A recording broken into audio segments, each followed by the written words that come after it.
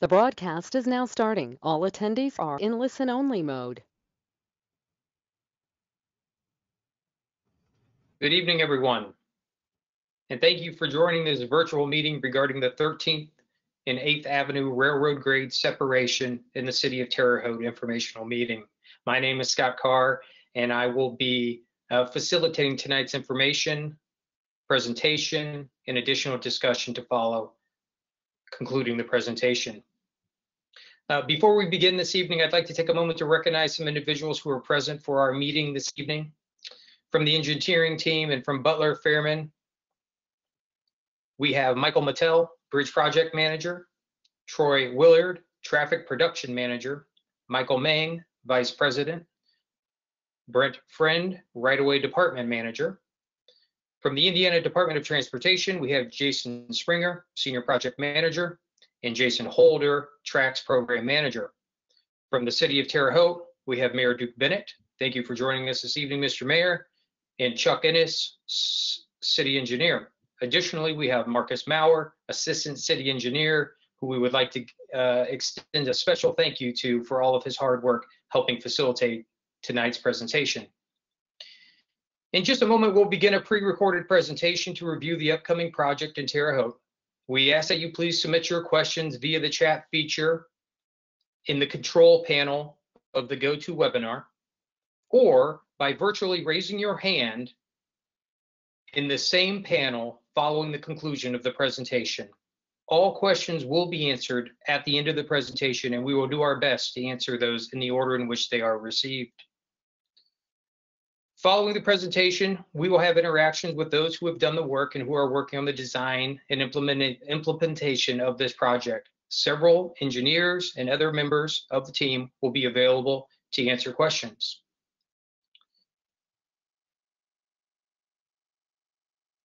I believe at this time, we could begin the presentation.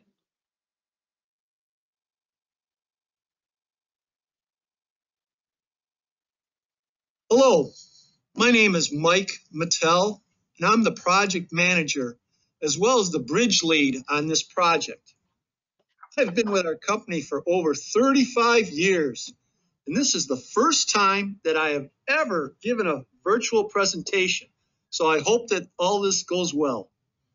I want to thank you for talk, for taking the time to listen and participate in this meeting tonight and I hope that we can provide you with the necessary information. To give you a little background on the project, our firm was hired by the Indiana Department of Transportation to be the designer of this project.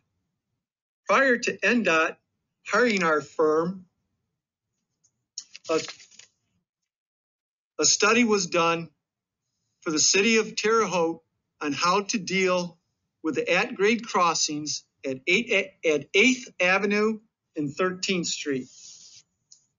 As you all know, the project is located within the city limits of Terre Haute in the northeast section of the city.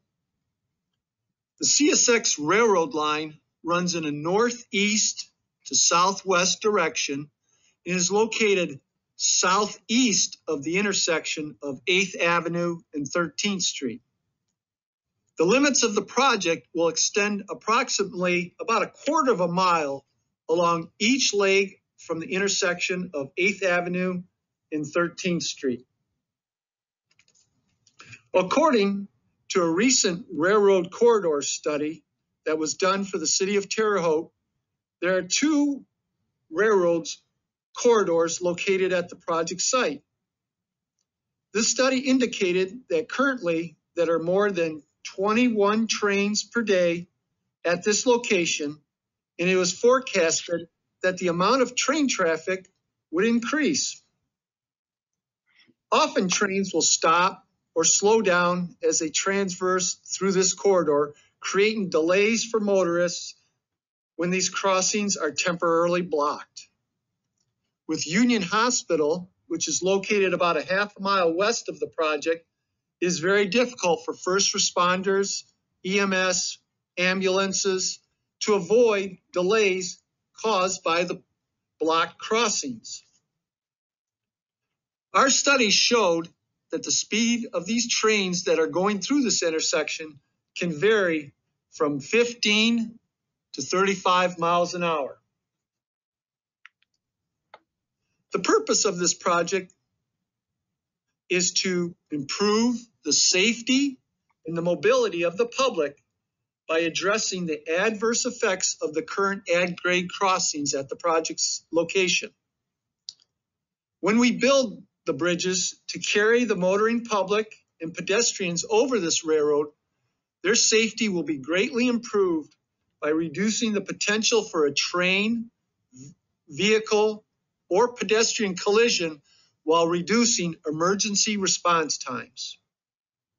Now, this is a win-win situation for both the motoring public and CSX Railroad, since CSX operations will be maintained throughout construction and their risks and concerns will be decreased by eliminating the two existing at-grade crossings.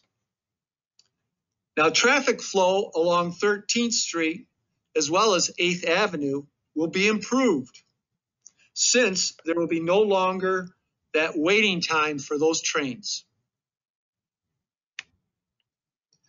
Now, I'd like to provide you with some information with regards to the railroad. As you all know, the current at-grade crossings on 13th Avenue and 8th Street, there are gate arms and flashing red lights at each location. As I mentioned earlier, the trains can sometimes go pretty slow and be quite aggravating as you wait in your car for the trains to cross. But on the most part, these trains travel at a pretty good speed through here, up to 35 miles an hour through the intersections. On average, you may have to wait probably around five to 10 minutes in your car for the train to pass. But it sure seems like a lot longer. Creating a grade separation crossing at this location will improve safety for the motoring public as well as the railroad operations. According to accident reports supplied from the Federal Railroad Administration, there have been 22 accidents between trains and the motoring public at these crossings since 1976. Included in these accidents, there were two fatalities and five injuries reported. Whatever we do uh, for a bridge design to go over the railroad, we have to meet certain criteria for the railroad. But the main design criteria that we have to meet is that the bottom of the bridge is at least 23 feet above the top of the railroad tracks. This way, the railroad knows how high they can stack their cars for their trip. The railroad doesn't want to have an accident when they go underneath the new bridge. We have to provide this vertical clearance over each existing track, as well as we coordinate with the railroad to see if they have any future plans to expand and add other tracks. So we have to provide this 23 feet vertical clearance for the future tracks as well. For this project, we coordinated with CSX Railroad to find out what they owned in terms of right of way at the project location. We found out that CSX owns a 100 foot wide corridor in this area. Well, another thing that the railroads have been quite particular about lately is they want you to span their entire right of way. So we have to build a bridge that spans the entire railroad corridor without placing any type of piers or any other construction items on their property. This way, during construction, the railroad will be able to keep their trains and railway line in service. We will need to coordinate with them for some temporary shutdown times whenever we come to the point in the bridge construction to lift and place the beams for the bridge span. Another feature that this project will impact uh, is with utilities. With this being an urban area, there are many utilities either buried underground or on power poles. Through early coordination, we were able to identify nine different utilities that were either in or near the project area. One of the major utilities of this project is Duke Energy. They have power poles currently located along 8th Avenue. In addition to Duke having aerial lines on these power poles, there are a couple other utilities hanging on these power poles as well. Since we will be raising the road and the bridge over the railroad, Duke will also need to raise their poles as well. Another significant utility that the project will be impacting is Indiana American Water. This utility has several water main lines located underground throughout the project that will need to be relocated. The city of Terre Haute also has their combined sewer along the roadway centerline of both 8th Avenue and 13th Street.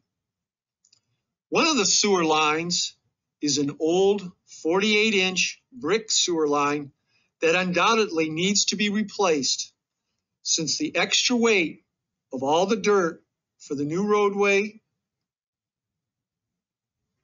We believe that this brick line would not be able to handle this extra weight. I have tried to describe to you several of the challenges to start the design of this project. So how do we go about tackling this job and start designing? Well, the first thing that we did was get a survey. You may have seen some of these survey crews while driving in the area, or you were contacted to be, on, to be able to get onto your property to survey. We needed this done so we could get an overall view of the project and to come up with some ideas on how to design this project. We wanted to look at alternatives and put some costs as well as all the benefits and disadvantages of each alternative. Ultimately, we would provide our recommendation of the preferred alternative. This was done by our firm and presented to the city of Terre Haute as well as to INDOT for their input and review. I'm not I'm now going to hand it over to Troy Willard of our firm, who is our lead road designer, who will lead you through what we came up with. Thanks, Mike.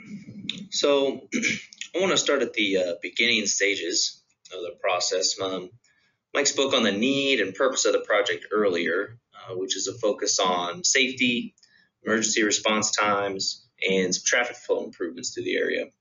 Uh, in order to quantify some of these items, we started with a traffic study to understand the best way uh, to address these needs. We received traffic counts along both 13th Street and 8th Avenue from 2019 and a turning movement count at the existing signalized intersections uh, and a signalized intersection. Then we projected those values out 20 years to, to ensure that we design not only a safe and quality project, uh, but also a project that will serve the area well for 20 years and beyond. We also looked a little deeper into the 21 trains that Mike had mentioned are using the track every day. At an average time of about 10 minutes per train blocking the intersection, that means both 13th Street and 8th Avenue cannot be crossed for nearly 15% uh, of a typical day. That's a pretty major inconvenience and a big deal for the hospital uh, that's only a half a mile uh, to the west of the project. So, after looking at those options uh, or those those that information, uh, we figured that the solution of a grade separation was uh, where we needed to head. However, to create Quote a great movie, Field of Dreams. If you build it, they will come. So come to find out, this uh, not only works for baseball fields in the late 80s, but also bridges over railroad tracks uh, today. With grade separation being the solution, uh, we now have a project, um, now to project how much traffic from the surrounding area uh, will divert to this new option uh, so that they don't have to wait the 5, 10, 15 minutes or more for the train tracks to clear. So based on some typical driver behavior, uh, other studies, we're projecting about 50% of the traffic that would typically wait at a train at 7th, 8th, 9th, Elm, Locust, 3rd Avenue, Ash Street, and Maple Avenue will choose not to wait, uh, but divert to either 13th or 8th Avenue to go over the tracks uh, on our new project. So this this kind of general traffic information um, played a pretty large role in figuring out uh, the uh, best solution uh, in intersection type to be able to handle the influxes of traffic during train events. So we kind of have three alternatives that we considered during this early design phase. One was one that we always consider as a no build, um, where we leave the project at or leave the area as is. Um, the second was to build two bridges over the railroad track, one on 13th, one on 8th, and then leave the intersection as is with the traffic signal. And then we kind of came up with a different idea of, of one bridge uh, across the tracks with a roundabout pair um, at either end. So the no build alternative uh, quickly was removed from consideration. Uh, there's no improvement in the area, doesn't fulfill either the purpose or the need of the project that Mike had discussed. Um, so we we kind of threw that one out right away. So on the, the next two slides, I'll, I'll show you the other two alternatives and discuss some major pieces, uh, general cost, and uh, the operational performance uh, of each one of those. So the first alternative uh, was installing two bridges. Uh, shown in pink on this figure, uh, you can see um, one is on 13th Street. Um, it's on a little bit of an awkward skew and it, it passes over top the railroad tracks. The other one's on 8th Avenue. Alignments of the road stay the same. Um, and these will be fairly lengthy bridges uh, due to that awkward angle. And as Mike had said, uh, we need to make sure we have the vertical clearance for the entire width of the railroad right of way. Now what I've shown in blue on this figure is how far the road would have to be replaced in order to bring the road back down to the existing elevation. Mike mentioned earlier, earlier uh, that we need 23 feet of clearance from the railroad tracks to the bottom of the bridge. However, the top of the pavement, which is where I'm working with, ends up being closer to 30 feet above the tracks uh, due to beams, concrete, and everything associated with constructing a bridge. From a road standpoint, uh, we have to go up about 30 feet uh, from the existing grade. It takes a lot of length um, to raise a road that high. I mean, you can only go so steep um, so that we uh, make it you know safe for drivers, especially uh, if there's ever icy conditions or things like that. Uh, additionally, the new intersection at 13th and 8th uh, would be elevated somewhere in the range of 20 to 25 feet above where it is right now. just to if you want to get a little bit of an idea of what that is or what that would really look like in reality, um, if you go out to the intersection right now and look at the very top of the signal heads where the red ball is, uh, those are right at about 20 feet in the air. So the new road would for this option would be that much higher, um, and but still be a signalized intersection. In order to build these two bridges and handle all the new asphalt and walls associated with the project, uh, this is would this is going to run about 19.2 million uh, dollars, with 6.3 being for the bridges and 12.9 being for the road work and, and the walls. As far as the performance goes, um, for traffic flow, um, we use a level of service uh, for an intersection. It's a scale that runs from A to F uh, with A being the best and F being the worst, uh, similar to how you know your grades work in school. Uh, a level of service D is considered acceptable. Um, so anything from D to A is considered an acceptable uh, level of service, and then an E or an F is considered failing. Uh, so in the AM peak, uh, this this option provides a level of service B, and this is with the 2039 projected volumes, which is the 20 year out projected volumes. And in the PM peak, uh, this would be a level of service C. And similarly, uh, this is the 2039 uh, traffic volumes, both of which uh, include that 50% diversion that I spoke on briefly uh, during the train events. So, well, this is a viable option. Uh, I mean, it fits the need and purpose of the project. Um, when we looked at this, we thought, well, maybe there is a, a different way, a, a, better way, more creative way. Um, to to solve this um, this grade crossing issue. Um, so this is how we came to propose an additional alternate, uh, which is a roundabout pair with a shorter uh, bridge that's also perpendicular to the tracks uh, that's going to connect to roundabouts that are both elevated. So this figure uses the same color scheme uh, for a bridge and for asphalt, but I've added some green circles to just kind of show the center island um, of the proposed roundabouts. What we've been able to do with this design is build a bridge that is shorter than either either of the two bridges in the other alternative and shorten the road impacts by having a curve in the roadway that can absorb some of that elevation change. Uh, in addition to those benefits, um, constructing these roundabouts instead of a traffic signal creates a less maintenance situation for the city. Uh, they won't have to maintain the traffic signal, which is electric costs, um, going and resetting if it goes into flash, um, dealing with detection maintenance and failures. And um, additionally, roundabouts have been studied that uh, while they won't necessarily decrease the number of accidents that could happen at an intersection, they do typically decrease the severity of the accidents. Um, what that really could look like is instead of being able to turn left and get T-boned, um, now that's not feasible. Um, you, could, you could have a side swipe, which would be significantly less severe. Um, you know, you'd have a fender bender rather than uh, a pretty high high impact accident. So, in order to build this alternative, um, we we did some projected costs, and you can see the bridge cost has come way way down due to just the one shorter bridge um, instead of the two long um, bridges that are on that skew. So we went from about you know a little over six million for the bridges uh, in the two bridge alternative to this is down underneath under two million at 1.7, and then the road work is very comparable still to what it was before, but at 11.1 for an all-in uh, construction cost of about 12.8 million, which if you compare to the previous one at 19.2 is about you know right around closer to close, to six and a half million in savings. so finally, uh, I want to talk about the operational performance. Um, so from an operation standpoint, um, this performs um, more efficiently in the AM peak than the two bridge alternative. It's at a level of service A as opposed to a B, um, and it's equal uh, to the other one uh, in the PM peak. All that being said, uh, for the two alternatives, uh, we've chosen with the city and with INDOT to move forward with the uh, design of the one bridge alternative with roundabout pairs um, at either end. So with that, uh, I'll pass this over to Brent.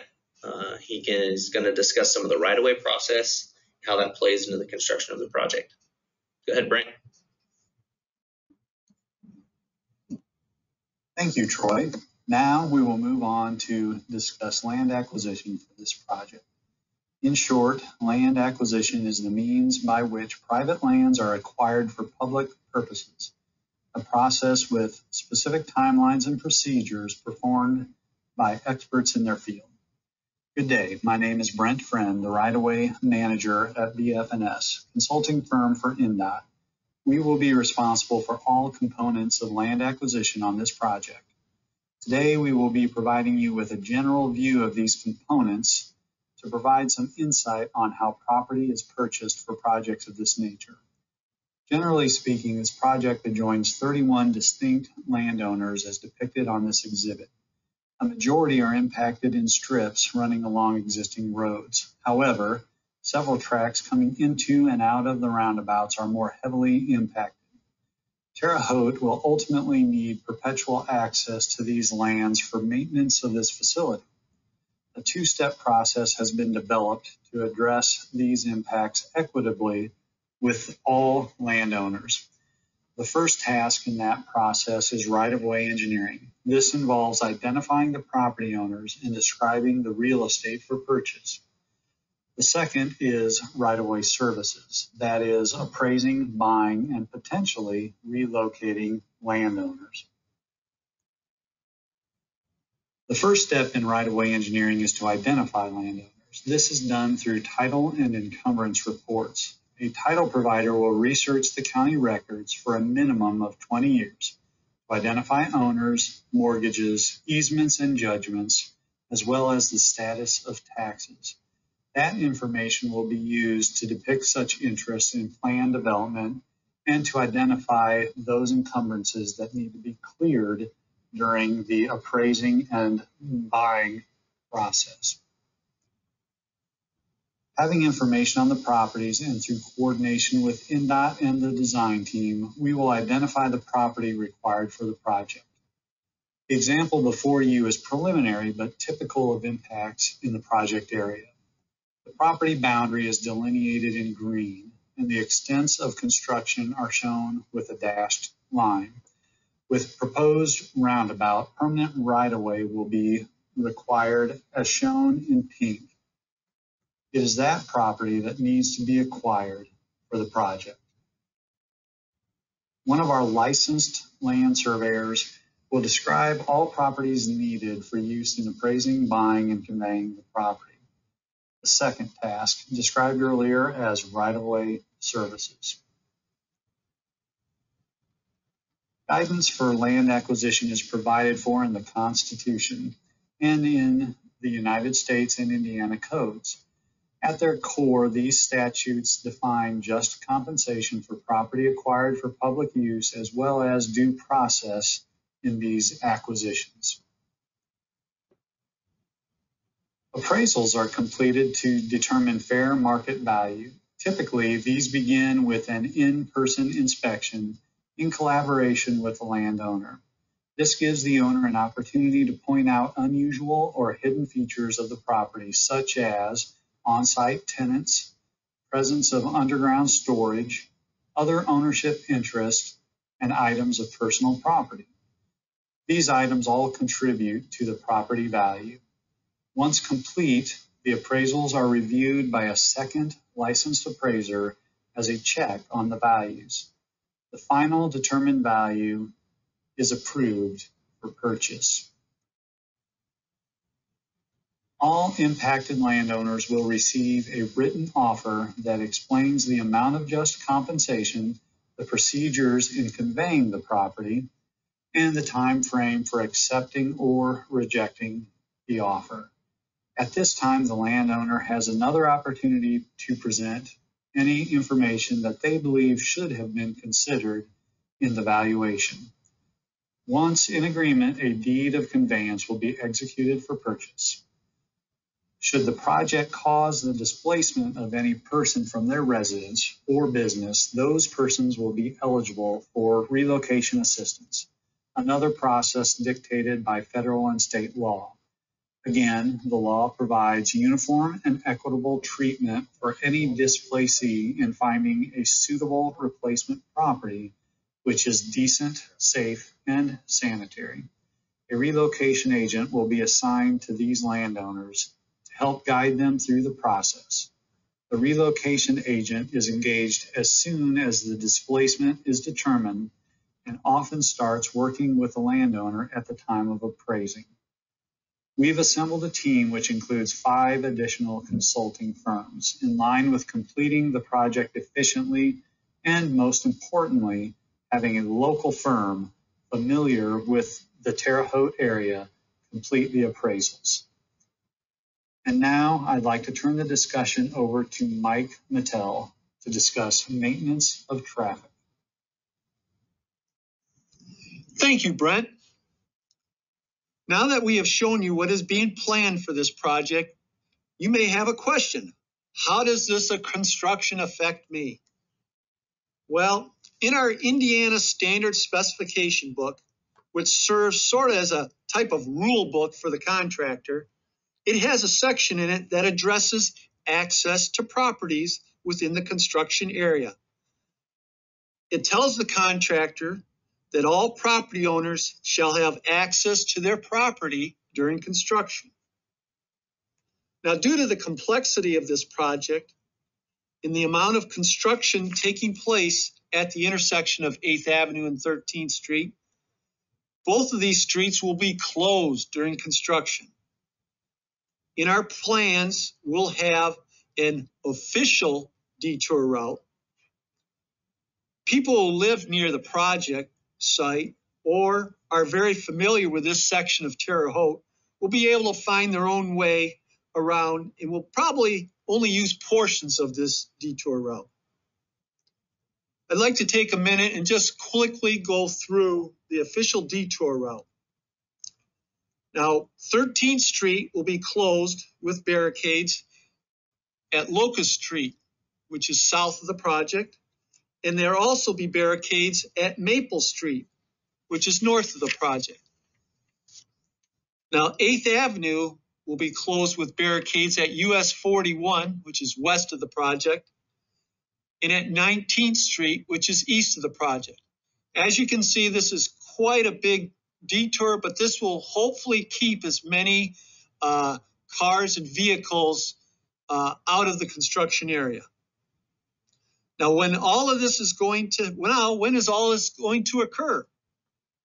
I would like to go over what our current schedule or timeline that we have today. We hope to keep this on schedule. All right. I, as well as Troy, talked earlier about the engineering report, which we presented our alternatives to the city as well as INDOT. This report was officially approved this past July. At that time, we could start putting together our design plans. Well, our next major milestone is to receive approval of the draft environmental document, which we are hoping will occur this June. When this document gets approved, we are then able to set up an official public hearing in August of this year. Now, this public hearing will be very similar to this meeting. God willing, we will be able to conduct this meeting in person and not virtually. At this meeting, we will provide you some of the same information, but we will also be further along in our design plans to show you how this project will affect each one of you. Now, this public hearing will be transcribed and entered into what we call the final environmental report. You will be at this public hearing, you will be able to ask questions as well as comment and record on record about this project. So once we get through the public hearing, we hope to have the final environmental document approved by the end of this September. Now, at that time, as Brent mentioned, we would be able to then contact you concerning any property negotiations. Now, this project is scheduled for an April of 2023 letting. This is when the contractors look at our plans and contract book and provide a bid to say how much they will willing to build, how much it will cost to build this project. In most cases, INDOT chooses the low bid and construction would start in the early summer of 2023. It is anticipated that this construction will take approximately 18 to 24 months. This concludes our presentation, and I will hand it back over to Scott for any questions that you may have. Thank you very much.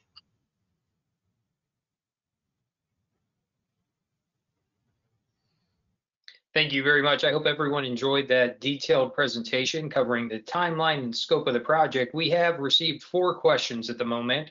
Uh, I would like to instruct anyone who was not at the beginning of the presentation when we provided instructions regarding questions, uh, how to do that. You have two options. The first option is in your GoToWebinar control panel. You may select questions and type out your question or you may raise your hand using that feature virtually as well too, and we will uh, work to facilitate that. If it's okay with you, Mr. Mattel, I will go ahead and call on our first question. Go right ahead. Thank you, sir. This question comes from um, William or Bill Heyman. Could you please tell me if our properties will be involved, both the old building and our current property consisting of eight lots. Bill, we're not exactly sure which properties those are unless someone has more information. Bill, could you, could you let us know?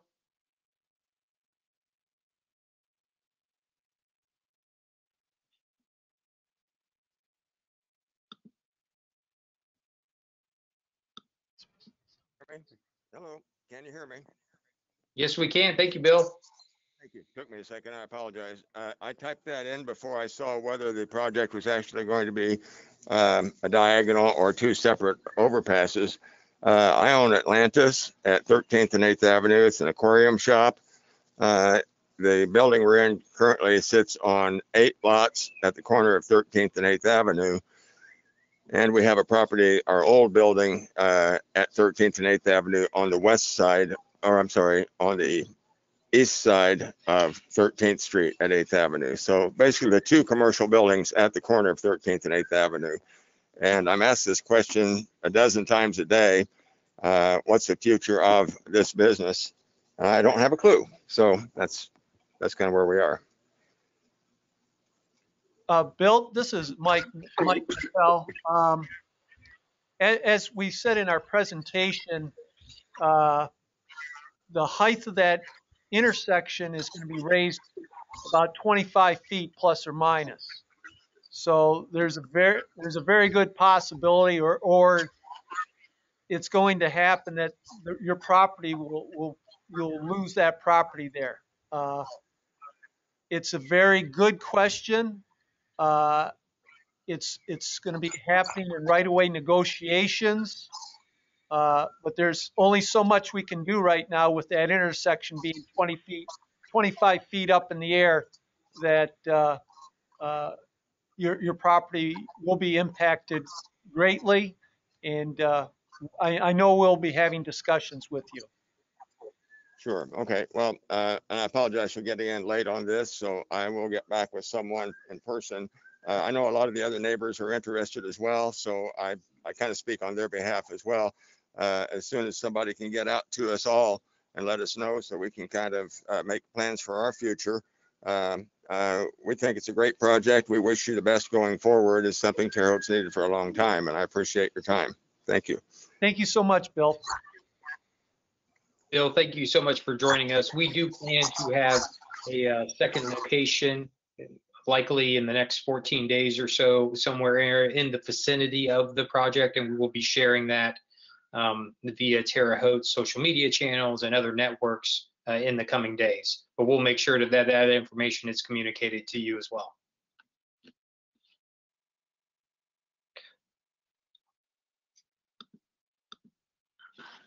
Excuse me one second here. Our second question comes from uh, Karen Schultz. How will this affect the first block of 13th Street north of 8th Avenue? As the last photo was published, I see no sidewalks or parking lots. Uh, Karen, uh, I would like to say that uh, sidewalks will be provided on 13th Street as well as 8th Avenue. Uh, As you go further north or south uh, from the intersection there on 13th Street, the, the amount of impacts to properties uh, diminish because we don't have, our construction limits are able to come in further. Uh, I don't know specifics on, on where actually lots you're talking about, but as, as I said, the, the closer you are to the intersection, uh, the greater possibility of, of impacts are going to be to those properties. I, I hope I answered that question as best as I could. I cannot unmute her. She has. Okay. Uh, Karen did give a specific address, 1644 North 13th Street. Okay. What we can do, Karen, is we, I don't have a set of plans in front of me right now, uh, but we can, uh, look at that and, and we'll, we'll get back with you on, on, on the type of, uh, uh, right-of-way concerns for your property there at, at your address. The first of two questions, uh, the next two questions come from Kathy Kathy would like to know, how do we plan to deal with semi trucks that use these roads and intersections when it comes to roundabouts? Okay, Kathy, that, that is a road question. I'm, I'm a, a bridge guy, so I'm going to uh, let Troy Willard, who is our uh, road engineer, uh, address that question. Thanks, Mike. Um, yeah, that's a good question, Kathy. Um, because I think that um, this is going to be one of the one of the first, or if not the first, roundabout in this area. Um, when we go through and, and and design roundabout, some of the design criteria we have to take into play is um, semi trucks being able to go through them.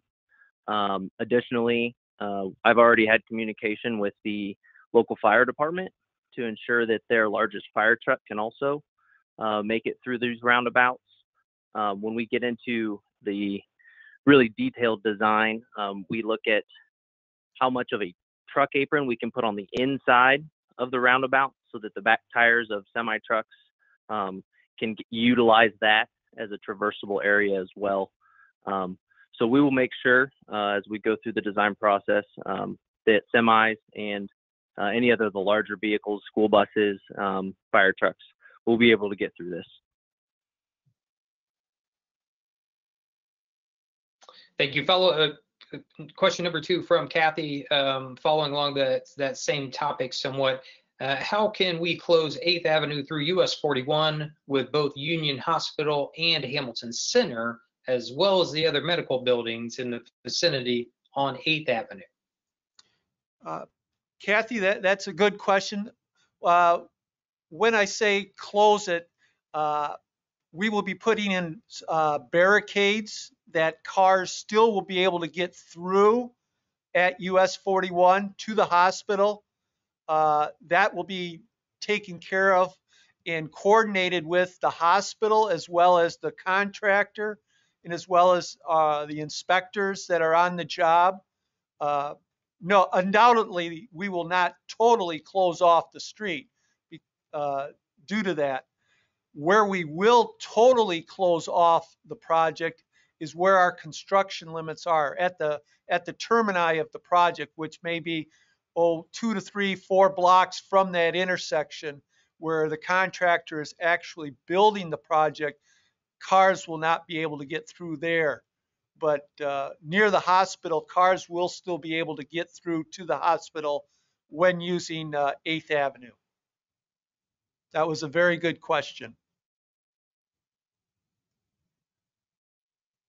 Thank you, Kathy. Uh, we have two questions from Paul.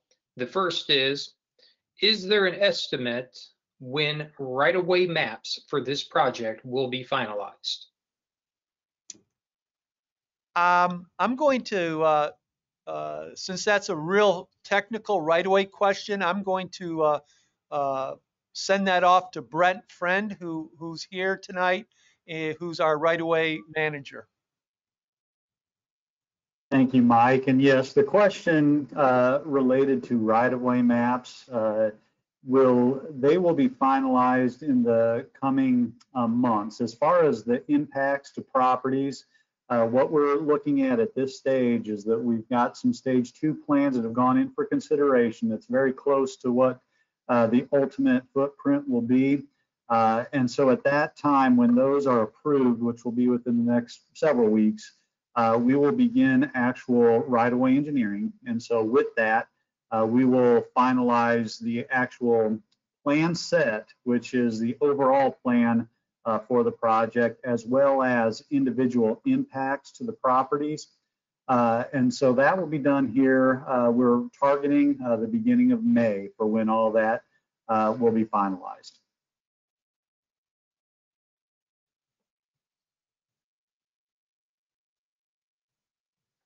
We have a second question from Paul, and, and this question is, are there any considerations given to acquire the property in the vicinity of the project, but not necessarily within the project footprint? I'm concerned my residential property will be less marketable and ultimately devalued as a result of this project. Thank you, Paul. I'm also going to send that over to Brent uh, to address that question, if you could, please, Brent? I will, Mike. Thank you. Uh, Paul, what we will do during the course of right-of-way acquisition is uh, we study the construction plans to discern where the construction limits hit actual private property. And it's only those particular properties that are impacted by construction that are considered for acquisition. So to answer your question, if you're outside the footprint of the construction of the project, uh, there will be no acquisition on that particular property.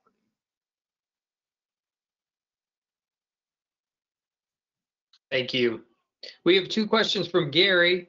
Uh, the first of which is, when the project is completed, will there be ground level crossings for pedestrians and bicyclists? When you say, uh, Gary, uh, to be clear, there, there will be sidewalks on the bridge. Uh, there will be sidewalks leading up to the bridge on both 13th Street and 8th Avenue. If you are talking about at ground level where ground is today near those intersections, uh, near that intersection, there will not be uh, any trails underneath uh, that are planned right now underneath on the railroad property. But uh, there will be, um, like I said, sidewalks uh, leading up to and on the bridge itself. I hope that answers your question. Gary, feel free to, uh, if it did not, to submit a follow-up and we'll make sure to address it. Uh, Gary did have a second qua- uh, question, which is, will the Dairy Queen uh, at Sixth, Fifth, and Fourth Avenue be impacted on the egresses? I know where the Dairy Queen is. I, I had lunch there once. But so, um, Dairy Queen is, I believe, is just north of Sixth Avenue. Uh, or, or is it south of Sixth Avenue? I don't believe off the top of my head if Dairy Queen is going to be impacted or not. Uh, Brent, do you know off the top of your head if, if, if we're going to be disturbing that fine eatery?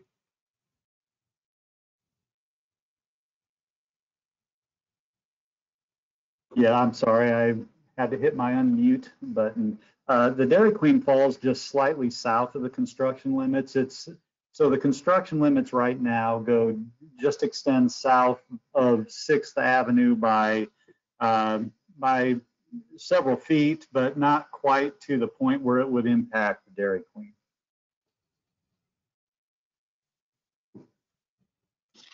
I don't know about anybody else, but that makes me feel better.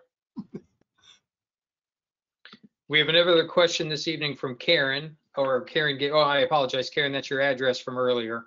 Uh, we have a question from Earl. Earl asks, can we provide email addresses to be sure that we are notified of any future meetings or webinars? We live at 1640 North 13th Street. Or that might be Avenue, 13th Avenue, I apologize. Earl Bruner. Earl, we do have your email address, we do have your address, and if you are impacted by this project, uh, you will be uh, coordinated with, spoken with, and uh, and we will be very upfront with you and in in anything we we do with regards to this project. Thank you. We have one more follow-up question from Kathy this evening. She has a question about what about Spencer Ballpark? That's a very good question, Kathy. Spencer Ballpark is on the east side of this project. Uh, One of the main uh, objectives of this project was to not disturb Spencer Park at, uh, if, at all, since that would get us into uh, a very complicated environmental type of thing due to uh, uh, impacting a park.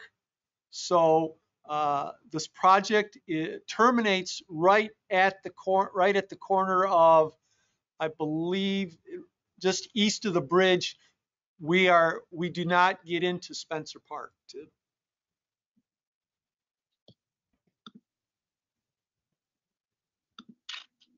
Thank you. Do we have any additional questions this evening?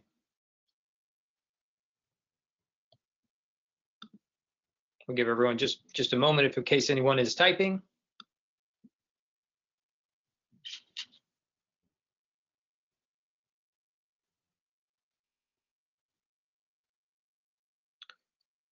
Seeing no new questions and no hands raised, uh, Mr. Mattel, would it be okay if we go ahead and closed out this evening? I'm, It I'm, does look like we have one more. It looks like Bill Foster may Yes. have a question. Oh, thank you very much. We do have one additional question here from Bill Foster. How um, to access our facility. Uh, Bill, do you have an address? Uh, I can, this would be the Railroad Museum off of, uh, Plum Street. Okay. Yeah, I sent us, I sent a message earlier, but it didn't go through. Mm. We were just east of 13th on Plum Street. Between 13th and the Thank you, railroad. sir. Bill, I'm going. Mike Mattel, I can, I can let take Troy this one. Take care of this one because Troy has looked at that railroad museum quite thoroughly when they were mm. putting together their road design. So go ahead, Troy. So that the railroad museum right there on Plum Street. Um, when we are bringing the northern piece of 13th Street back down to grade, um, we are there's going to be a wall on both sides of the road there, and we're going to come down as quick as possible and leave Plum Street open at the conclusion of the project. Um, we're not fully certain if we're going to need to turn a wall for a short period along Plum Street but the intent of the project is to leave Plum Street open um, and still give you access to that drive and that um, I believe it's a gravel lot right there um, at the railroad um, museum. Okay. My other question that didn't come through in the text was, is this presentation something that we can download so I can pass it on to my board of directors? That's a good question for Scott to handle. Yeah, thank you very much.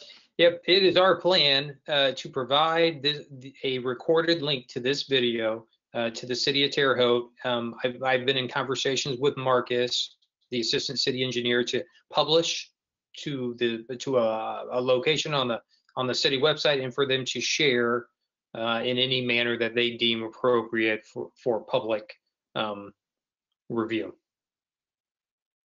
Okay, I appreciate it. I'm, I'm using the mobile app and it's kind of tough to navigate some of it.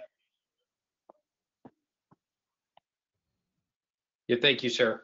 We'll make sure that we can communicate that back to you. Thank you. Thank you.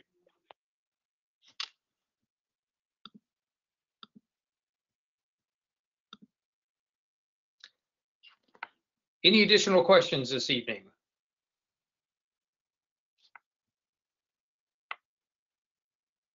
Well, I'd like to take a moment to thank everyone who uh, took time out of their schedule to participate in this virtual public uh, informational meeting.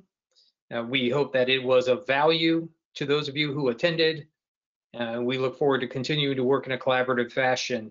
Uh, As I mentioned earlier, uh, we are working with the city to identify a location uh, in the coming weeks to um, have members of the BFS team show be in Terre Haute with uh, illustrations and boards and, and and just generally be available to answer any questions um, that the public may have at that time. Once that facility and location and time, date have been secured, it will be shared and passed along as well.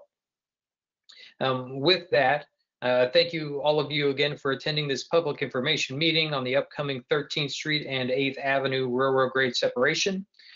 Um, we look forward to the coming projects and we wish you all a wonderful evening. Thanks for bearing with us in this virtual presentation.